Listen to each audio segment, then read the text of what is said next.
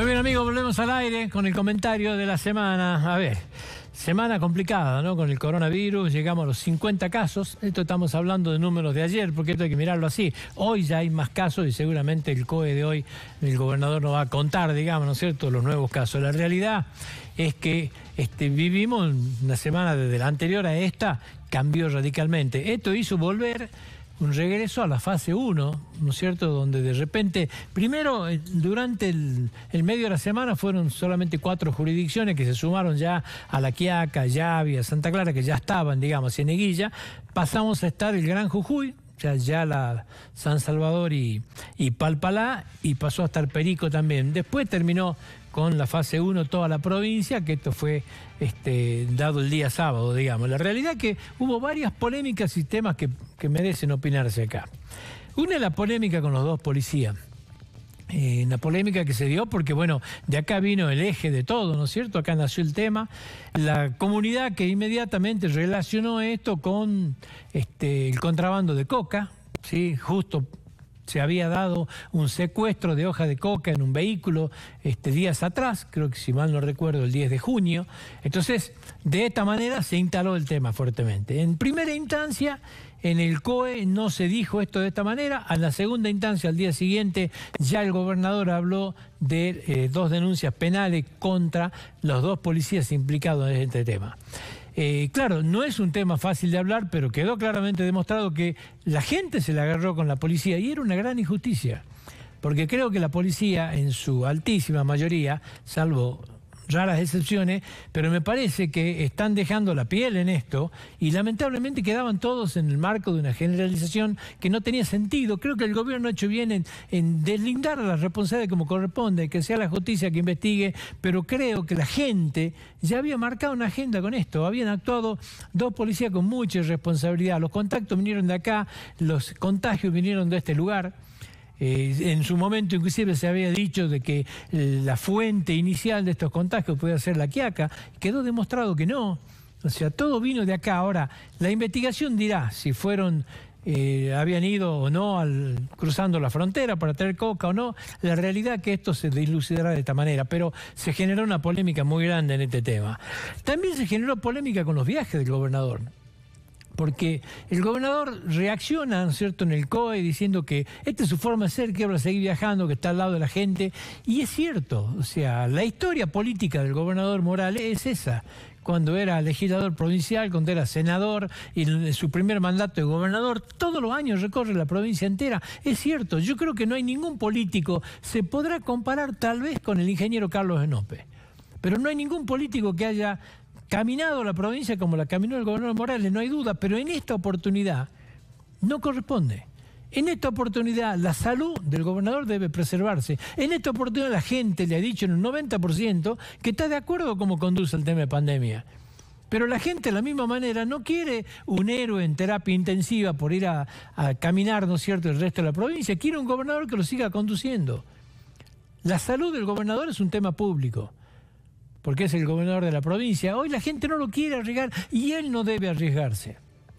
Es más, de hecho, en este viaje se termina, ¿no es cierto?, armando la cadena de contagio, porque el gobernador no va solo, va con toda una comitiva y se habilitó esto. El gobernador debe empezar a quedarse en la casa, como lo dijimos del, presidente de la República también, que fue a Formosa, apareció abrazado con Infran, que fue a La Rioja y terminó no llegando a Catamarca. Debería quedarse en Olivos, como le recomendaron y como está haciendo, porque el presidente de la República hay que protegerlo, como hay que protegerlo al gobernador. Fue otro los debates que se dieron. Las polémicas por viajes del policía también se armó, porque el primer caso que se conoció era un policía que en su Facebook tenía viajes a Disney París, Cancún, eh, lo que usted busque, digamos, había 13 visitas, digamos, a distintos lugares del mundo que fueron fuertemente criticadas en las redes. Esto se aclaró o no, no sé si se terminó de aclarar en el COE posterior que eran, ¿no ciertos viajes de trabajo, de becas que había ganado el policía producto de su trabajo en la policía. ¿sí? Ahora, la reacción de la gente es una reacción normal. Eh, me dicen que un policía puede darse el lujo de visitar 13 países, como hemos visto, desde Disney World, reitero, a París, a Nueva York, al Caribe? La verdad que es raro, digamos, y no puede dejar de asombrarnos. Vivimos en un país que lamentablemente este tipo de cosas pareciera ser que ya nos parecen normales. O sea, vemos una persona con una casa factuosa, un auto, ah, pero es diputado. ¿Y qué tiene que ver? Que sea diputado, si un diputado gana 150 mil pesos, ¿se puede hacer una casa de 500 metros cuadrados con esa plata? Y evidentemente que no. Pero vivimos en un país que parece ser normal. Entonces hoy nos sorprendemos cuando vemos el, barra brava de Rosario Central, Pillín Bracamonte, con ocho autos, casa. Pero si toda la vida sabíamos, y la justicia es la última en enterarse. Entonces no tiene que enojarse nadie porque la gente reaccione con este tema, porque se reacciona por doble motivo. Primero por los contagios y segundo por decir, pero ¿cómo? No puede dejar de asombrarnos esto. Lo que pasa es que vivimos en un país que las instituciones que tienen que controlar, llámese AFI, Procelac, parece que estaban puestas para este, llevar adelante servicios ilegales, que hoy están siendo investigados todos. El gobierno de Macri parece que dedicó al AFI entero con Gustavo de arriba y, Magdalani a, revisar, a ver gente, desde periodistas, sindicalistas, políticos. mal acostumbrados, pero no tiene que sorprender nuestras cosas ni tiene que volvernos locos. También se instaló la polémica de la coca. Claro, la coca se transformó en un bien apetecible por el contrabando. Si hoy la compran en Bolivia a 4 o 5 mil pesos, la venden a 16, 17 mil acá, tiene una rentabilidad más grande que la marihuana con menos riesgo, o sea, y para colmo es una algo ancestral consumido por gran cantidad de gente en la provincia de Jujuy, buscado y de repente se ha transformado en un negocio que tienta más de uno. Y en este marco, sí, parece que hay policías que se tentaron también y empezaron a formar parte de ese negocio. Ahora, la coca, ayer lo definió un poco el gobernador y yo creo que tiene que ser una política conjunta de Tucumán, Salta y Jujuy y lo incorpora a Tucumán porque ya hay mucha gente que coquea en Tucumán para tratar de buscar un proyecto de ley para legalizar su, su introducción al país. Tiene que entrar con una estampilla controlada, los comercios que quieran vender tienen que inscribirse, tienen que ser debidamente fiscalizados, tienen que pagar impuestos y se va a terminar esta problemática. Hoy se transforma en un drama, porque de repente, claro, en la necesidad de introducirla pasan estas cosas, las, fronteras son permeables por donde se mire, es un control imposible de realizar, la policía está haciendo un esfuerzo tremendo para poder parar la cantidad de gente que entra por distintos motivos en el medio, bueno, está la problemática de la coca, digamos, que es un tema ancestral, cultural, que la gente coquea y hay desesperación cuando no la consiguen. Y se ha generado como parte de este problema también, ha sido algo que ha estado. Vicentín fue noticia en la semana también, fue, estuvo plagado de noticias por mire y se sigue hablando, porque el sábado hubo un banderazo importante, con mucha gente en las calles, en distintas jurisdicciones, no fue solamente Santa Fe, no fue solamente Avellaneda y Reconquista, se ha visto gente en muchos lugares del país, en muchas provincias, que de repente ha logrado unir a la oposición, parece mentira, pero esa oposición que estaba dispersa, que parecían perro y gato, en este marco Vicentín le ha dado una bandera común por lo menos, ¿sí? Para ir en contra del gobierno le ha dado una bandera común. Ha unido a los productores también, sin distinción de nadie. Había una solicitada en el día de ayer en los medios locales, donde están todas las entidades empresarias, fíjese que están rechazando este tema, que supera a Vicentín. Vicentín es, en esto es una anécdota. La gente que mira en Vicentín, mira un avance sobre la propiedad privada. La gente en Vicentín mira un avance de algo que no se votó. Mira Venezuela en Vicentín. Esto es lo que decían todos. ¿Qué decían? Queremos república, queremos garantías constitucionales, queremos que siga la propiedad privada. Esto es lo que decía la gente en la movilización. Vicentín es es una anécdota en este marco, digamos, nada más. Es una sociedad que está viendo que vienen por todo. Esta es la, bandera que levantan y Vicentín le ha dado este, realidad a esto. Esto que se decía, que lo decían algunos, bueno, Vicentín, ¿qué le ha dado? Le ha dado un marco de razonabilidad a lo que estaban diciendo. Vienen por todo.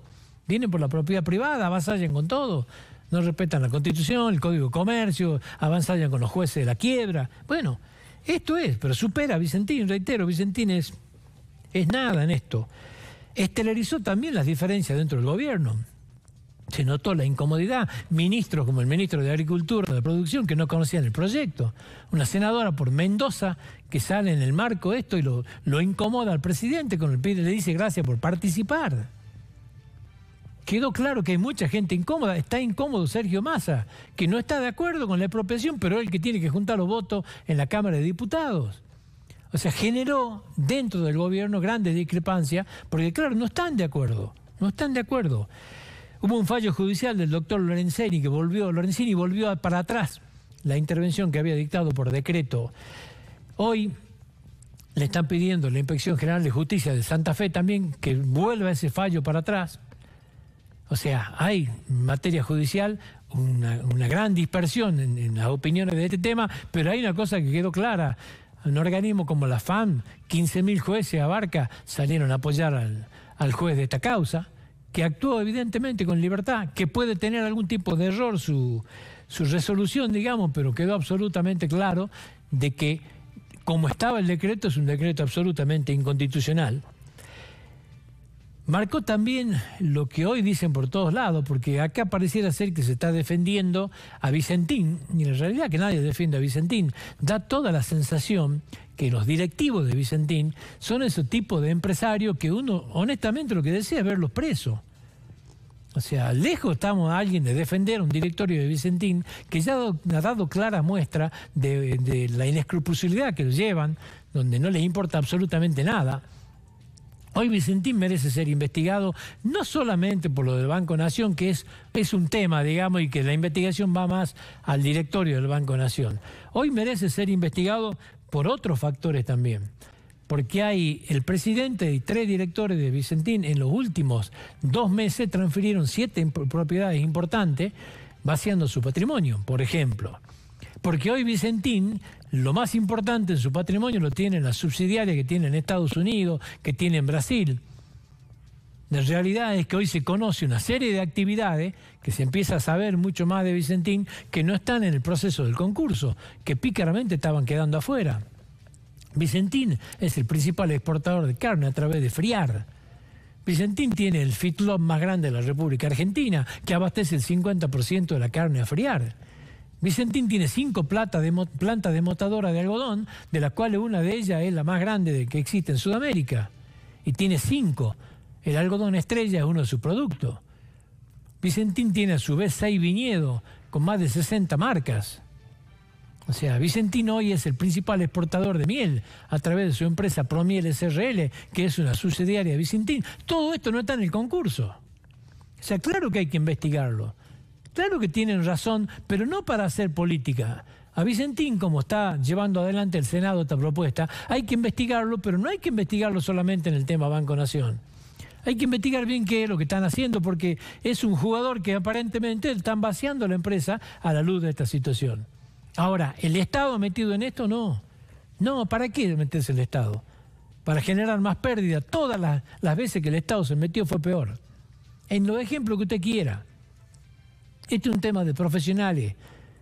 Qué casualidad que es el rubro que mejor anda en la Argentina, que es el campo, el que esté con problemas, pero es un tema de profesionales, que no es fácil de manejar y menos, menos para interventores políticos. Pero bueno, Vicentín está instalado hoy. Una jugada este, nociva para el país, pero ahí está instalado y que ha esmerilado fuertemente la, imagen del presidente de la República. En el medio de esto también fue noticia Cauchari en la semana. Se energizó, ¿qué significa? Se terminó la planta altiplano, entró en un proceso de 30 días de prueba, después ya le da energía a Cauchari para que Cauchari haga las pruebas en caliente. En 45 días, 50 días estamos vendiendo energía, lo cual es una muy buena noticia. Desde lo económico, y es una muy buena noticia para Gerardo Morales desde lo político, porque claro, después de tantos tiempos y de, situaciones fallidas, ya costaba hablar de, de, Cauchari si no estaba funcionando. Ahora ver la planta iluminada ya ha sido, ¿no es cierto?, este, una, buena aliciente. Así que si Dios quiere, en 50 días Jujuy aproximadamente está vendiendo energía. En la semana también fue motivo de, comentarios Latam. Latam se va del país. 1.715 empleados tienen empleo directo. Pero esto no es lo más importante. La desgracia que tiene Argentina hoy en materia de desarrollo turístico, de todo lo que tiene a futuro, es que como se ha dado la política aerocomercial y como se han dado las circunstancias, queda aerolínea solo. Porque ya se habían ido dos low cost, ya se había ido Avianca en su momento y Norwegian, Ahora cierra el Palomar, aparentemente se terminan de ir, ¿no es cierto?, JetSmart y se terminará de ir Flybondi. Ahora dice la, la tanque se va y claro, queda solamente Aerolínea Argentina en el mercado, en un monopolio que ya alguna vez lo había dicho Recalde, ¿no? que pidió que le saquen a la competencia, digamos. Bueno, le sacaron la competencia. ¿Ahora usted cree que Aerolínea se va a desarrollar con esto? Aerolínea le acaba de pedir al gobierno 900 millones de dólares para cubrir su déficit. ¿Sabe cuánto es esto? 66 mil millones de pesos. ¿Sabe cuánto le están dando a la provincia, al conjunto de provincias por la pandemia a través del fondo fiduciario? 60 mil. O sea, Aerolínea Argentina para cubrir su déficit se lleva el 10% más de lo que le dan al conjunto de provincias para cubrir los déficits. ¿A usted le parece? Y todavía tiene siete gremios, ninguno quiere bajarse el sueldo, ninguno quiere hacer ningún tipo de ajuste. Entonces, claro, es muy fácil pedir eso cuando hay una caja boba que pone la plata todos los meses para que Aerolínea funcione de esta manera. Ahora, ¿se puede seguir en un país en los niveles de pobreza que tenemos? ¿Podemos seguir solventando esta situación? Y es un debate que hay que darlo. ¿Podemos seguir manteniendo los privilegios de los empleados de Aerolínea cuando es altamente deficitaria? Y ahora la vamos a dejar sola. Aguinaldo forma parte de lo que está pasando en el país, ¿no? De un, de un alto déficit, es más de si se puede en este marco seguir sosteniendo esta irresponsabilidad en el manejo de aerolíneas. Lo dejo como una consulta. Eh, en el medio de esto, cuarentena total en el AMBA, parece ser que es una definición que se toma esta semana. Claro, hay una economía devastada. La pregunta que uno hacemos, ¿se puede? se sigue privilegiando, ¿no es cierto?, el tema sanitario, evidentemente. ¿Está en condiciones la economía de, de, aguantar esto? ¿Está en condiciones la gente, desde lo psicológico, para volver atrás? Estamos viendo todos los días y cuidado, lo miramos con atención, cómo la gente colapsa las calles, las colas que hay para entrar a Jujuy. Yo no sé si la gente hoy acepta mansamente volver todo para atrás. Pequeños empresarios que, que en sus pymes han hecho un esfuerzo muy grande para adaptarse al protocolo y abrirlo, mandan a cerrar de vuelta. ¿Usted sabe lo que es eso? La primera vez sí era distinto, estábamos todos con el miedo. Hoy es como que ese miedo también mucha gente ya lo ha perdido, pero a su vez ha empezado a sufrir los embates de Sale García fue mucho más suave, ni hablemos de lo que dijo Bernie, ¿no es cierto? Que quiere cerrar todo 15 días para el transporte, bueno. Pero me parece que el día jueves se va a anunciar este tema y con algunos matices, no la fase 1 dura, con algunos matices se va a volver para atrás y se va a cerrar mucho ¿no es cierto?, el movimiento en, la zona del AMBA, en, provincia y en capital. Creo que han llegado a un acuerdo político, lo han terminado de convencer como sea, digamos, a Rodríguez Larreta, y en este marco me parece que van a, van a volver. El tema es cómo lo va a tomar la gente. La gente lo va a aceptar, va a haber rebeldías en esto. O sea, se está analizando bien el impacto de lo que va a ser la economía post pandemia, digamos, porque ya llevamos 100 días en esto. ¿Cuál es el final del túnel? Nadie nos dice el final del túnel. Hoy se fundamenta este tema en el gran temor que hay por las camas de terapia intensiva, pero en ningún momento nos dijeron con claridad cuántas camas de terapia intensiva hay, cuál es el nivel de ocupación. Nunca lo dijeron. Ahora empezamos a debatir ese tema. Siempre nos mandaban la información de los casos confirmados y muchas veces en esta columna dijimos, acá lo que interesa es ver cuál es el nivel de ocupación en terapia. Las camas de terapia han crecido mucho, mucho, en todo el país, Jujuy creció una enormidad. Hoy tiene más de 57 camas en, en, el San Roque, va a llegar casi a 100 en el San Roque. Y son camas que antes no existían. Se conservan las que están en el Pablo Soria. Pero claro, estamos viviendo una situación donde evidentemente se manipulan algunos números, lo dicen con la claridad necesaria y hoy todos hablan de la posibilidad de colapsar en las camas de terapia dentro de 45 días, pero nadie explica bien el por qué ni cómo salen las cifras. La realidad es que esto recién ahora empieza a conocerse, se va a designar esta semana. Y un último pequeño comentario quería hacer, que tiene que ver con la, caída de imagen de Alberto Fernández.